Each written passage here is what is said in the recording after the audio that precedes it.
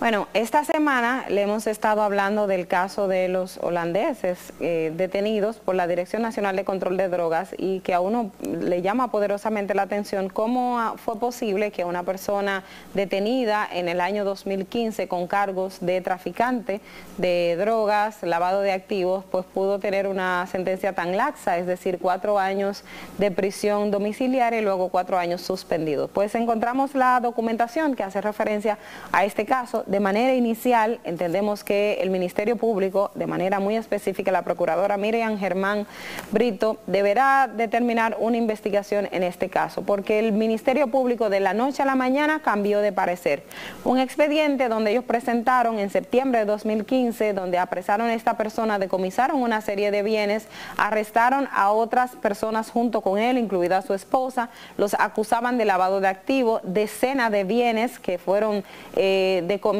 o fueron retenidos en ese momento durante la investigación formaron parte de ese expediente. Ese expediente se estuvo debatiendo en los tribunales, se presentó acusación, el Ministerio Público estaba firme en su acusación se declaró el caso complejo, es decir, medida de coerción, presentó acusación, pasó la etapa preliminar, es decir, el de que donde el juez dijo que sí hay mérito y los envió a juicio, pero de buenas a primera en el juicio en el año 2019, casualmente, ese Ministerio Público cambió de parecer. El Ministerio Público que estaba diciendo que tenía hechos graves contra todos los imputados en el proceso, pues al final dijo que desiste de perseguir penalmente a las otras personas y que entonces solamente se iba a la acusación en contra del señor eh, Gov, quien eh, se declaró culpable en un acuerdo que ellos llegaron ahí mismo en el tribunal y que eh, solamente se le aplicó ocho años de prisión. Y los ocho años de prisión tienen una razón de ser.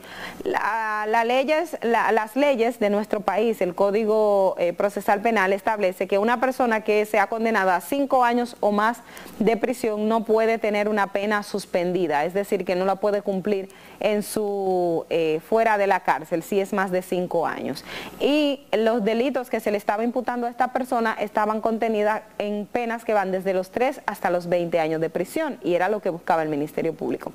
De buenas a primera el Ministerio Público cambia de parecer y dice y llega a un acuerdo como la pena están entre 3 a 20 años, dice que le va a dar 8 años de prisión, pero de esos 8 años, 4 van a ser en prisión domiciliaria y 4 van a ser suspendidos. De esa manera, el imputado podía tener menos de 5 años para cumplir la pena suspendida. Ese acuerdo está contenido en un documento que rápidamente también se lo compartimos y si me ayudan muy brevemente a visualizarlo, para que ustedes vean en la página 12 de ese documento que el Ministerio Público en la audiencia del mes de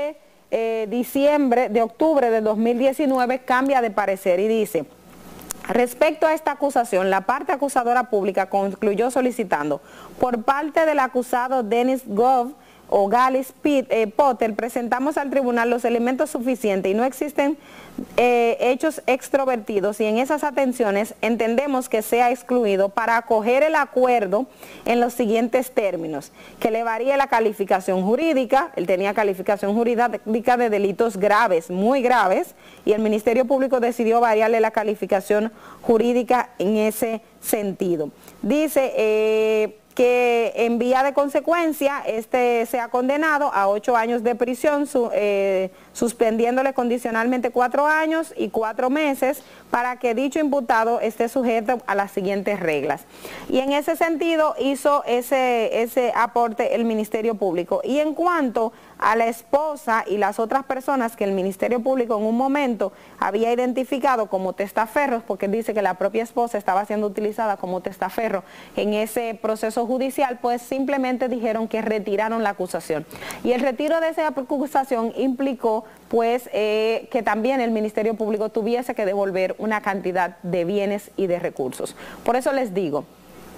que ahí pasó algo muy grave, muy delicado. La Fiscalía el Ministerio Público y eso tiene que ver tanto Dirección de Persecución como la propia Fiscalía que llevaba el caso, la Fiscalía del Distrito Nacional, de buenas a primera cambiaron de parecer. Era un delito grave que ameritaba apenas hasta los 20 años de prisión y luego simplemente la Fiscalía dijo que no, que iba a llegar a un acuerdo, que no tenía prueba suficiente contra los otros imputados, que al señor Gov, que es el holandés, se le condenara a ocho años, cuatro y cuatro meses suspendidos. Esto definitivamente genera mucha suspicacia y es una obligación de este nuevo Ministerio Público, pues ordenar una investigación en este caso, porque a todas luces algo no huele bien. O sea, algo ahí no pasó como debe o como debió ocurrir. Pero de este y otros temas más tenemos para la próxima entrega de La Cosa Como Es. Ya en el día de hoy ha sido todo. Muchísimas gracias por su fiel sintonía durante esta semana. Será hasta una próxima entrega.